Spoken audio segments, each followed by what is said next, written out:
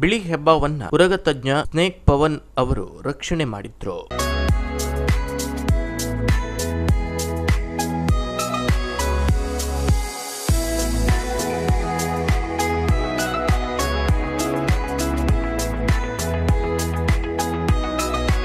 ಕುಮಟಾ ತಾಲೂಕಿನ ಹೆಗಡೆಯ ಗಾಂಧಿನಗರದ ದೇವಿ ನಾರಾಯಣ್ ಮುಕ್ರಿ ಎನ್ನುವವರ ಮನೆಯ ಅಂಗಳದಲ್ಲಿ ಅಪರೂಪದ ನಾಲ್ಕು ಪಾಯಿಂಟ್ ಐದು ಅಡಿ ಉದ್ದದ ಬಿಳಿ ಹೆಬ್ಬಾವು ಪತ್ತೆಯಾಗಿತ್ತು. ಉರಗ ತಜ್ಞ ಸ್ನೇಕ್ ಪವನ್ ನಾಯ್ಕ್ ಅವರು ರಕ್ಷಣೆ ಮಾಡಿ ಕುಮಟಾದ ಅರಣ್ಯ ಇಲಾಖೆಯ ಅಧಿಕಾರಿಗಳ ಜೊತೆಗೂಡಿ ಕಾಡಿಗೆ ಬಿಟ್ಟಿದ್ದಾರೆ. ರಾತ್ರಿ ತಾಲೂಕಿನ ಹೆಗಡೆಯ ಗಾಂಧಿನಗರದ ನಿವಾಸಿ ದೇವಿ ನಾರಾಯಣ್ ಮುಕ್ರಿ ಎನ್ನುವವರ ಮನೆಯ ಅಂಗಳದಲ್ಲಿ ಬಿಳಿ ಹೆಬ್ಬಾವು ಕಾಣಿಸಿಕೊಂಡಿತ್ತು. ವಿಷಯ ತಿಳಿದು ಆರ್ಟಿಒ ಕಚೇರಿಯ ಹೋಮ್ ಗಾರ್ಡ್ ಗಣೇಶ್ ಮುಕ್ರಿಯವರ ಕರೆಯ ಮೇರೆಗೆ ಪವನ್ ನಾಯ್ಕ್ ಅವರು ಆಗಮಿಸಿ ಹೆಬ್ಬಾವಿನ ರಕ್ಷಣೆ ಮಾಡಿದ್ದಾರೆ.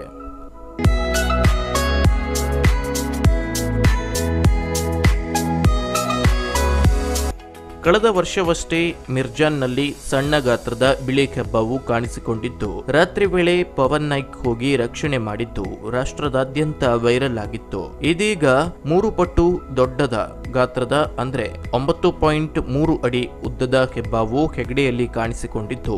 ಜನರು ಭಯಭೀತರಾಗಿದ್ದು, ನೂರಾರು ಜನರು ನೆರೆದಿದ್ರು. ಇಂತಹ ಹಾವು ಕರ್ನಾಟಕದಲ್ಲೇ ಮೂರನೇ ರಕ್ಷಣೆಯಾಗಿದ್ದು, ಅದರಲ್ಲಿ ಎರಡು ಬಾರಿ ಕುಮಟಾದಲ್ಲೇ ರಕ್ಷಣೆಯಾಗಿದ್ದು ವಿಶೇಷವಾಗಿದೆ. ಭಾರತದಲ್ಲಿ ಅತಿ ಉದ್ದ ಬಿಳಿ ಹೆಬ್ಬಾವು. ಭಾರತದಲ್ಲಿ ಅತಿ ದೊಡ್ಡದಾದ ಬಿಳಿ ಹೆಬ್ಬಾವಿನ ರಕ್ಷಣೆಯ ಕೀರ್ತಿಯು ಪವನ್ ನಾಯ್ಕ್ ಅವರಿಗೆ ಸಿಕ್ಕಿರುತ್ತದೆ. ಬಿಳಿ ಹೆಬ್ಬಾವು ಬೇರೆ ತಳಿಯ ಹಾವುಗಳಲ್ಲ. ಹಾವುಗಳ ಚರ್ಮಕ್ಕೆ ಬಣ್ಣ ನೀಡುವ ವರ್ಣದ್ರವ್ಯ ಗ್ರಂಥಿ ಅಥವಾ ಮೆಲಲಿನ್ ಪಿಗ್ಮೆಂಟ್ ಕೊರತೆಯಿಂದ ಚರ್ಮಕ್ಕೆ ಬಣ್ಣ ಬರದೆ ಹೀಗೆ ಬಿಳಿ ಚರ್ಮ, ಬಿಳಿ ಬಣ್ಣಕ್ಕೆ ತಿರುಗುತ್ತದೆ. ಇಂತಹ ಹಾವು ಪತ್ತೆಯಾದಲ್ಲಿ ಯಾರೂ ಸಹ ಭಯಗೊಳ್ಳಬಾರದು. ಅದನ್ನ ವಿಷದ ಹಾವೆಂದು ಕೊಲ್ಲಬಾರದು. ಇಂತಹ ಹಾವುಗಳಲ್ಲಿ ವಿಷ ಇರುವುದಿಲ್ಲ. ಇದನ್ನ ರಕ್ಷಣೆ ಮಾಡುವ ಹೊಣೆ ನಮ್ಮದಾಗಿರುತ್ತದೆ. ಈ ತರದ ಬಿಳಿ ಹಾವುಗಳು ಪ್ರಾಣಿಗಳ ಕಣ್ಣಿಗೆ ಗುರಿಯಾಗಿ ಎಷ್ಟೋ ಹಾವುಗಳು ಇಂದು ಅಳಿವಿನಂಚಿಲಿನಲ್ಲಿವೆ.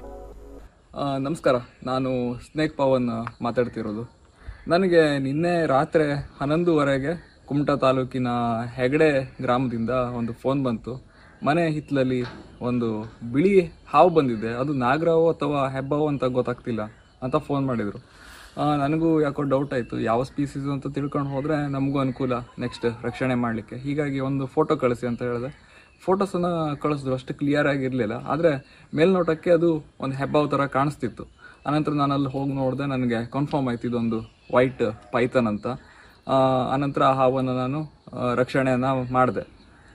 ಆನಂತರ ಅಲ್ಲಿ ಜನರಿಗೆಲ್ಲ ಒಂದು ಕುತೂಹಲ ಇತ್ತು. ನಾವು ಇಷ್ಟು ವರ್ಷದಿಂದ ನೂರಾರು ಹೆಬ್ಬಾವುಗಳನ್ನು ನೋಡಿದ್ದೇವೆ. ಅಂದರೆ ನಾನು ಹಲವಾರು ಹೆಬ್ಬಾವುಗಳನ್ನು ಆ ಊರಲ್ಲಿ ನಾನು ರಕ್ಷಣೆ ಮಾಡಿದ್ದೇನೆ ಕೆಲವು ವರ್ಷಗಳಿಂದ.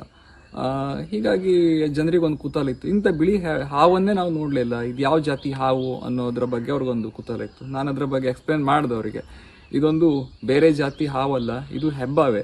ಹೆಬ್ಬಾವಿನಲ್ಲಿ, ಅಂದರೆ ಈ ಹೆಬ್ಬಾವು ಹುಟ್ಟಬೇಕಾದ್ರೇ ಅದಕ್ಕೆ ಒಂದು ಚರ್ಮಕ್ಕೆ ಬಣ್ಣ ಕೊಡುವಂಥ ಒಂದು ಗ್ರಂಥಿ, ಪಿಗ್ಮೆಂಟ್ ಅಥವಾ ಮೆಲಲಿನ್ ಮೆಲಲಿನ್ ಅಂತ ಹೇಳ್ತಾರೆ. ಆ ಒಂದು ಗ್ರಂಥಿ ಅಬ್ಸೆನ್ಸಿಂದ ಅದು ವೈಟ್ ಆಗಿ ಹುಟ್ಟಿರುತ್ತೆ. ಇಂಥ ಹಾವುಗಳು ಬದುಕೋದು ತುಂಬಾನೇ ಕಷ್ಟ. ಯಾಕೆಂತಂದ್ರೆ ಬಿಳಿ ಬಣ್ಣದಿಂದ ಕೂಡಿರೋದ್ರಿಂದ ಈಸಿಯಾಗಿ ತನ್ನ ವೈರಿಗಳ ಕಣ್ಣಿಗೆ ಬಿದ್ದುಬಿಡುತ್ತೆ. ಹೀಗಾಗಿ ಇಂಥ ಹಾವುಗಳು ಬೇಗನೆ ವೈರಿಗಳ ಒಂದು ದಾಳಿಗೆ ತುತ್ತಾಗಿ ಸತ್ತೋಗ್ಬಿಡುತ್ತೆ. ಕಾಡಿನಲ್ಲಿ ಪ್ರಾಣಿಗಳಿಗೆ ಇಂತಹ ಹಾವುಗಳು ತುತ್ತಾಗದಂತೆ ರಕ್ಷಣೆ ಮಾಡಲಾಗುತ್ತದೆ. ಇಂತಹ ಹಾವುಗಳು ಪತ್ತೆಯಾದಲ್ಲಿ ಅರಣ್ಯ ಇಲಾಖೆಗೆ ಅಥವಾ ನಮಗೆ ವಿಷಯ ತಿಳಿಸಬಹುದು ಎನ್ನುತ್ತಾರೆ ಉರಗ ತಜ್ಞ ಸ್ನೇಕ್ ಪವನ್. ಆದರೆ ಈ ಹಾವು ಸುಮಾರು ಒಂದು ಒಂಬತ್ತು ಅಡಿ ಉದ್ದವಿದೆ ಅಂತ ನನ್ನ ಒಂದು ಅಂದಾಜು. ಈ ಹಾವು ಇಷ್ಟು ವರ್ಷ ಅಂದ್ರೆ ಸುಮಾರು ಒಂದು ಆ, ಏಳೆಂಟು ವರ್ಷ ಆಗಿರ್ಬೋದು. ಇಷ್ಟು ವರ್ಷ ಬದುಕಿರೋದೇ ಹೆಚ್ಚು ಅಂತ ನನ್ನ ಅನಿಸಿಕೆ.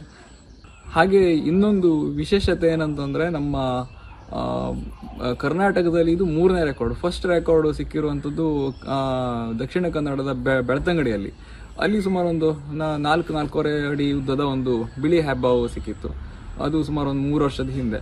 ಹಾಗೆ ಲಾಸ್ಟ್ ಇಯರ್ ಆಗಸ್ಟಲ್ಲಿ ಅಂದರೆ ಕರೆಕ್ಟ್ ಒಂದು ವರ್ಷದ ಹಿಂದೆ ನನಗೆ ಕುಮಟ ತಾಲೂಕಿನ ಮಿರ್ಜಾನ್ ಅನ್ನುವಂಥ ಒಂದು ಗ್ರಾಮದಲ್ಲಿ ಒಂದು ಬಿಳಿ ಹೆಬ್ಬಾವು ಸಿಕ್ತು. ಅದು ಸುಮಾರು ಒಂದು ನಾಲ್ಕು, ನಾಲ್ಕೂವರೆ ಅಡಿ ಇತ್ತು.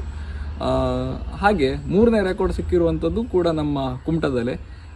ಇದು ಸುಮಾರು ಒಂಬತ್ತು ಅಡಿ ಇರುವುದರಿಂದ ಇದು ನಮ್ಮ ಕರ್ನಾಟಕದಲ್ಲಿ ಸಿಕ್ಕಿರುವಂಥ ಬಿಳಿ ಹೆಬ್ಬಾವಿನಲ್ಲಿ ಅತ್ಯಂತ ಉದ್ದದ ಒಂದು ಹೆಬ್ಬಾವಾಗಿ ಇದೊಂದು ರೆಕಾರ್ಡ್ ಆಗಿದೆ. ಹಾಗೆ ನನಗೆ ಗೊತ್ತಿರೋ ಪ್ರಕಾರ ಭಾರತದಲ್ಲಿ ಕೂಡ ಇಷ್ಟು ವೈಟ್ ಆಗಿರುವಂಥ ಹಾಗೆ ಇಷ್ಟು ದೊಡ್ಡ ಹೆಬ್ಬಾವು ಸಿಕ್ಕಿರೋದಿಲ್ಲ ನನಗೆ ಗೊತ್ತಿರೋ ಪ್ರಕಾರ. ಹೀಗಾಗಿ ಇದೊಂದು ಭಾರತದಲ್ಲೇ ಒಂದು ಅತಿ ದೊಡ್ಡ ಬಿಳಿ ಹೆಬ್ಬಾವು ರೆಕಾರ್ಡ್ ಕೂಡ ಆಗ್ಬೋದು. ಇದರ ಬಗ್ಗೆ ನಾನು ಮುಂದೆ ಸಂಬಂಧಪಟ್ಟ ಇಲಾಖೆ ಜೊತೆನೂ ಕೂಡ ನಾನು ಮಾತಾಡ್ತೇನೆ. ಹಾಗೆ ಹಾವನ್ನ ನಾನು ಅರಣ್ಯ ಇಲಾಖೆ ಅವರಿಗೆ ಒಂದು ಮಾಹಿತಿಗೆ ನೀಡಿ. ನೆಕ್ಸ್ಟ್ ಅದನ್ನು ಅರಣ್ಯಕ್ಕೆ ಬಿಡುವಂಥ ಕೆಲಸವನ್ನು ಮಾಡ್ತೇನೆ.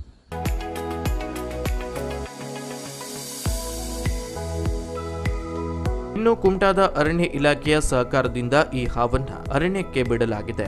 DFO Ravishankar, ACF, G Lohit, RFO, ST Patgar, Praveen Naik ಇತರರು ಇದ್ರು. ಹಾವಿನ ಛಾಯಾಗ್ರಾಹಕವನ್ನ ಪ್ರಸಿದ್ಧ ಛಾಯಾಗ್ರಾಹಕರಾದ ಗೋಪಿ ಜಾಲಿ ಅವರು ತಮ್ಮ ಕ್ಯಾಮೆರಾದಲ್ಲಿ ಸೆರೆ ಹಿಡಿದಿದ್ದಾರೆ.